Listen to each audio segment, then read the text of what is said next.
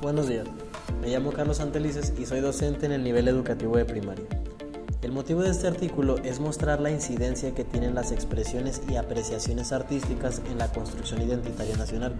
como un método de intervención docente al identificar en los alumnos la manifestación de migrar al extranjero por la búsqueda de identidad, siendo esto un factor de deserción escolar. Durante la lectura encontrarás temas como la construcción de identidad, la formación del autoconcepto y cómo éste se vincula a los rasgos que intervienen en el sentido de pertenencia, los distintos lenguajes artísticos, el proceso metodológico y el análisis final al concluir la intervención pedagógica. Acerca de la construcción de lazos simbólicos territoriales, comprendiendo que si logramos que cada alumno pueda expresarse genuinamente, reconociendo que todos los integrantes del salón son importantes, mientras se promueven los valores y el aprecio a la cultura de su país, el enseñar a través de las artes, pese a que pudiese verse como algo complejo, lo podemos visualizar como un desafío que vale la pena intentar,